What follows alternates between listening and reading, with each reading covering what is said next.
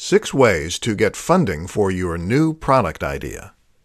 Got an idea for an amazing new physical product that might just change the world and make you a profit in the meantime? This is an incredibly exciting position to find yourself in, especially if you truly believe in the idea you have. That's also why it's so tragic to find yourself unable to make that vision into a reality. If you can't find the funds to manufacture your product, then you can't create it and you can't sell it. It's that simple. In this presentation, I'll show you six ways to find funding for your idea so that your good ideas never have to go to waste. 1. Crowdfunding. Crowdfunding means that you raise money from the crowd, aka the general public.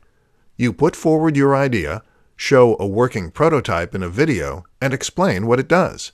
You then explain why you need money to make your idea a reality, and you give away some kind of reward in return. 2. Pre-orders.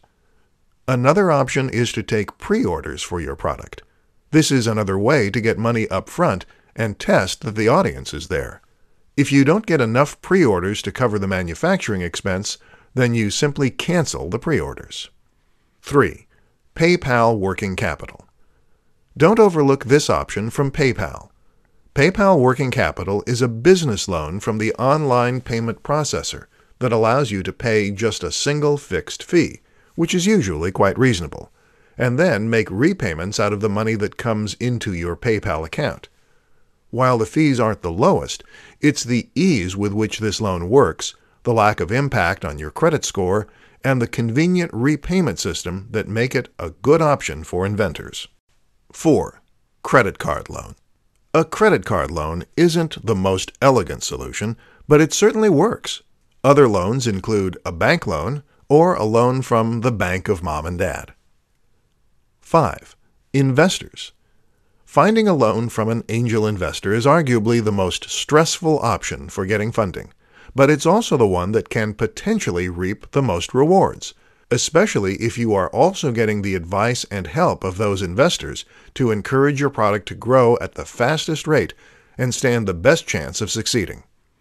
6. Bootstrapping. My personal favorite.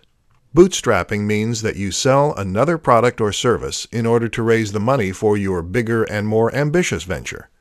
Think of this as slowly scaling up your business and your ambition.